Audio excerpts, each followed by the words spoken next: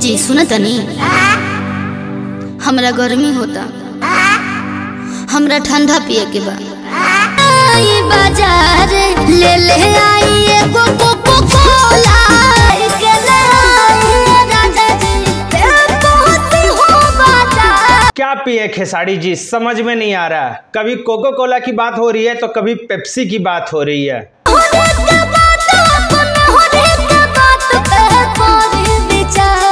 मेहरारू का बात है भाई, मानना तो पड़ेगा ही, क्योंकि भाई मेहरारू, समझ रहे हैं ना? जी हाँ खेसारी लाल यादव कोको कोला यानी कि हिट गाना देने के बाद, ज़बरदस्त 600-700 मिलियन हिट देने के बाद, अब कोको कोला से मन उब गया है तो आ गए हैं पेप्सी पर। जी हाँ जोड़ी, दोनों की जोड़ी कोको कोला वाला जोड़ी अब पेप्सी पे नज़र आ रही है और गाना रिलीज़ कर दिया गया है। जी हाँ भोरे भोरे ही आ चुका है और खेसारी लाल यादव और सोना पांडे का पेप्सी वाला जो ठंडा वाला अंदाज है, गर्मी में एकदम ठंडा, चिल्ड करने वाला मौसम जो लेके खेसारी लाल यादव आ चुके हैं। और भाई, गाना बहुत प्यारा है हालाँकि कोको कोला उतना वाला फ्लेवर नहीं है। कोको कोला में जो म्यूज़िक बजाया गया, वो ज़बरदस्त था।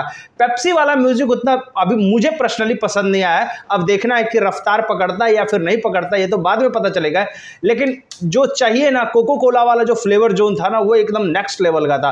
पेप्सी वाला फ्लेवर जोन थोड़ा कहीं ना कहीं ठंडा हो सकता है और या फिर रफ्तार है भाई, जनता का मूड है, हो सकता है भाई, जिस तरीके से कोको कोला ने जम के पिया है, वो हो सकता है उससे ज़्यादा पेप्सी पी जाए। ये तो बाद में पता चलेगी, लेकिन फ़िलहाल खेसारी लाल यादव का एकदम कोको कोला और पेप्सी वाला फ्लेवर वाला गाना ज़बरदस्त तरीके से एकदम डीजे पैटर्न तो नहीं कह सकते, थोड़ा सा स्लो मूव वाला म्यूज़िक वाला है, लेकिन ज़बरदस्त गाना है तो ऐसे में गाना नहीं सुना है, खेसारी लाल यादव के फैंस हैं तो बेकार है भैया, जाओ यार, खूब कोको कोला पियो पेप्सी पियो, जिसको जो मर्जा है वो पियो, मिरिंडा पी लो, जिसको मर्ज़ी है जो पियो, और नीचे कमेंट बॉक्स में ज़रूर बताओ कि इस गर्मी में कौन सा ड्रिंक एनर्जी ड्रिंक लेना पसंद करते हो। नीचे कमेंट बॉक्स में ज़रूर बताना। मिलता है अगले वीडियो में, तब तक के लिए धन्यवाद।